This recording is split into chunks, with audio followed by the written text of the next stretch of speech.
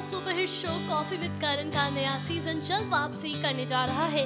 इस शो के छठे सीज़न के लिए अभी से मेहमान बनने वाले सेलिब्रिटीज के नाम सामने आने लगे हैं। लेकिन इस लिस्ट में जो नाम सबसे ज़्यादा चर्चाओं में है, वो है अर्जुन कपूर और जानवी कपूर का। जानकारी के मुताबिक अर्जुन और जानवी साथ में शो में शामिल होंगे। इस दौरान उनकी पर्सनल लाइफ से जुड़ी कई अनसुनी बातें सामने आएँगी। हालाँकि अभी तक इन दोनों की तरफ़ से इस बारे में कोई बयान जारी नहीं किया गया है।